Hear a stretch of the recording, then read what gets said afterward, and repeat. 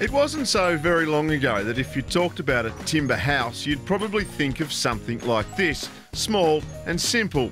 But of more recent times, engineered wood products have redefined what is possible, and one of the real game changers to emerge in the past decade is a product known as cross laminated timber, or CLT for short. It's a new take on an old idea basically giant plywood which can be prefabricated, cut to size, cut to shape and delivered to site for a building and literally then just screwed together.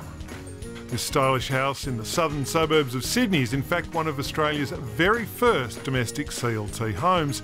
It's the brainchild of Anna and Chris Swadling. I've been interested in CLT. I've been going to Germany for probably the last four years on timber conferences and things and was of the understanding of this great product and looked into it and told Anna about it. And when we bought a house to uh, knock down and rebuild, um, it was something uh, that I wanted to get involved with. And I thought it to be uh, good for Australia and a good future for our timber industry. So we thought we'd have a go and we come up with a beautiful house in the end of it.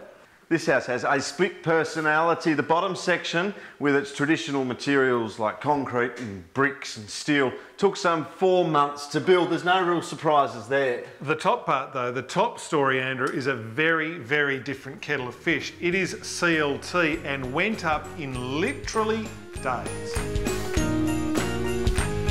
Wood, naturally better.